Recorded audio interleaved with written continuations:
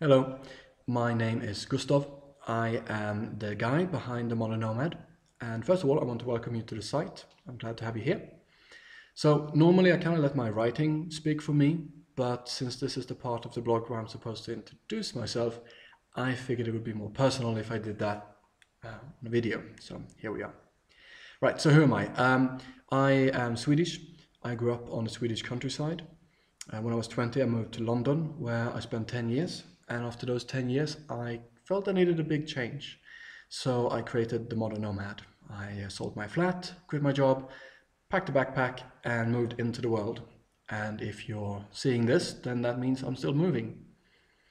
Uh, other things about me I'm a geek. I love stories. I love storytelling. I love storytelling games. I love role playing games, board games, any type of game that involves stories. Um, and of course, I love travel. Uh, so, what is it that I love about travel so much? I love the adventure, I love the experiences, I love all the wonderful people you meet on the road, and uh, I really like that feeling about moving through the world. And I hope that my blog will give you some of that.